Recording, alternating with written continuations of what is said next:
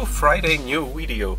This time it is about the LED slider text for the MR2 Mark 1 window, but you can adapt it to any car you want. So let's start and thank you for watching.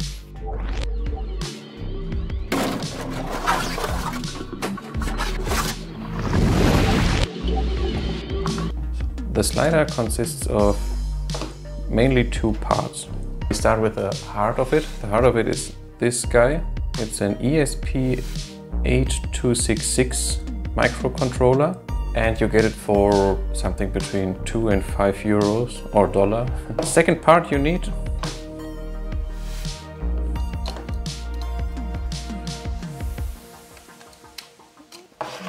are these LED panels and these LED panels um, come like you see them so it's it's one piece already connected and stuff and the third part is uh, this case. This case is a 3D printing case I designed and because of and this uh, PET or PETG case and these small pillars make it possible to just stick it inside. This is the controller so it's the same but I don't want to uh, reconnect it again so I can show you this one. Then you have a USB port here. It's not a USB-C, it's the older one. And you just need a power bank to connect. Yeah, and then you can, you have the physical everything done. So printing the case, I link you the file in the description. Then buy these two parts, connect it like I show you in some minutes. Put this thing in, connect the cables and use a power bank. If you want to use it in the window, um, I designed this window bracket for the MR2 Mark 1 because it has to fit or sit very very close to the window. Installation is easy of course. So you look for this edge, putting it on top of the window. Then you have the second edge to fit between these two garnishes and it clips in and then you only have to put the screw in and that's all. I only use it when I stand because the police is very very strict here but can, you can use a Tesa power strip for example or just 3M tape and glue it on it and then it looks from the outside like this.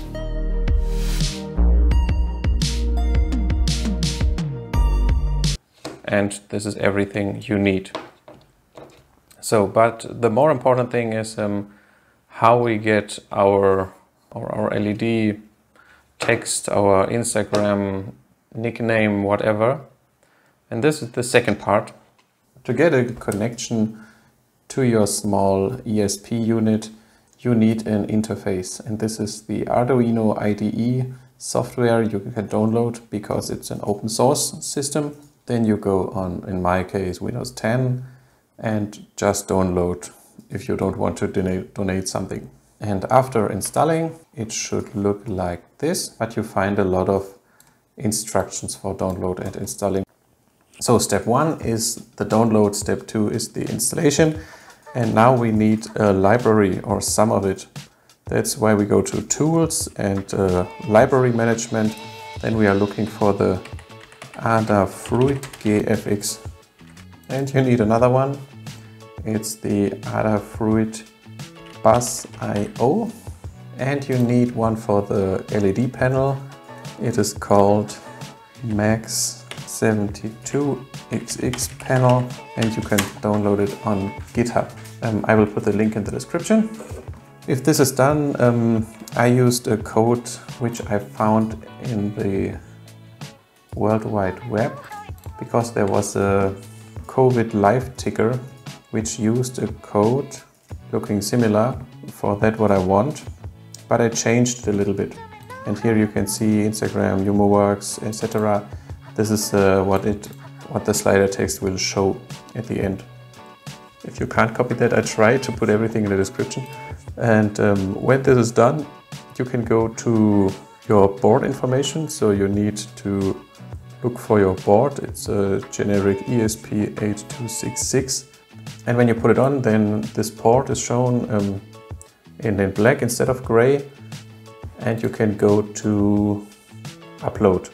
Then you only need to put in a USB device to get power and that's it.